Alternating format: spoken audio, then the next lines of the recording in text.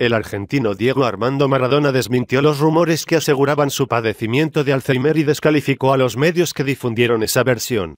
Mienten, hablan de Alzheimer, no saben lo que quiere decir la palabra Alzheimer. La gente que tiene Alzheimer se muere, yo no me estoy muriendo, sentenció el argentino a través de un video publicado en redes sociales.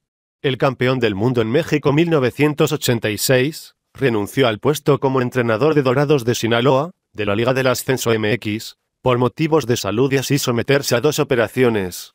Maradona arremetió en contra de los periodistas que difundieron la versión de su supuesta enfermedad, por lo que afirmó que no es la manera correcta de realizar periodismo.